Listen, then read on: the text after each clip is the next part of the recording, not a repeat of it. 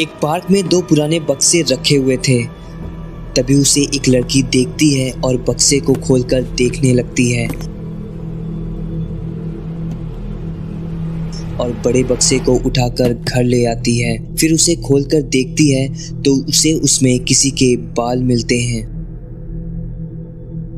और उसमें अजीब सी महक आ रही होती है। फिर वो उसे बंद कर देती है और जैसे ही वैक्यूम क्लीनर उठाती है तो वो बक्सा खुला हुआ होता है।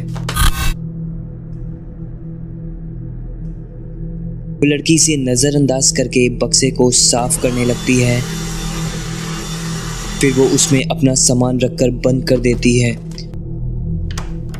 फिर रात को जब वो सो रही होती है तो उसे किसी चीज़ की आवाज़ सुनाई देती है। लड़की अचानक उठ जाती है और वो डर कर बैठ जाती है। तभी वो देखती है कि बक्सा अपने आप खुला होता है। फिर वो गेट की तरफ़ देखती है, जहाँ उसे कोई नहीं दिखता है। वो फ़ोन का टॉर्च जलाकर देखती है, तभी खिड़की से कोई झाँक रहा होता है।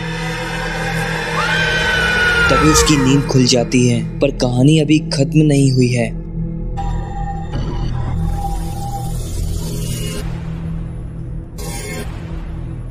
फिर वो देखती है तो वहाँ कोई नहीं होता है और बक्सा खुला होता है। तभी वो उठकर चारों तरफ़ देखने लगती है और उसके पीछे वही भयानक आत्मा होती है। तभी उसका हाथ अपने आप मुड़ने लगता है और आत्मा उसके शरीर को बुरी तरीके से मोड़कर बक्से में डाल देती है और बक्सा बंद हो जाता है।